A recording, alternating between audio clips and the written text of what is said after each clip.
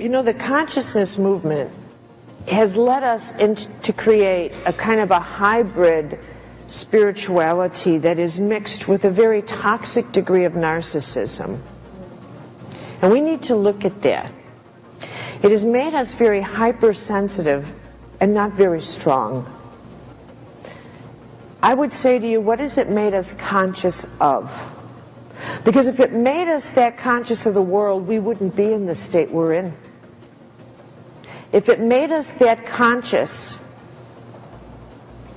of the world, we wouldn't have dropped the ball on the management of freedom and the Bill of Rights.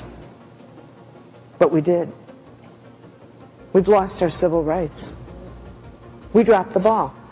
We dropped the ball on the management of the Earth's creatures, and we've got 150 chimps left. What have we become conscious of these last 50 years? Where have we been? We've been processing wounds. I know people who say, I'm, the, I'm, I'm working to become conscious, but I won't look at the TV and I won't read the news. Then what are you becoming conscious of? Myself.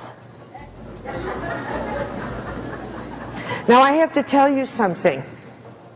That's exactly the formula through which you cannot heal. You cannot heal. Do you, can you understand that? That kind of narcissism is the classic formula for fueling your own rage. Your own rage. Narcissism and it's about me. It's about me. It's about my time, my space, my needs, my this, my wounds, my this.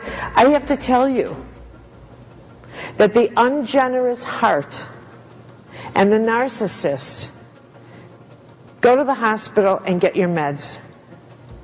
Because you cannot, it is not possible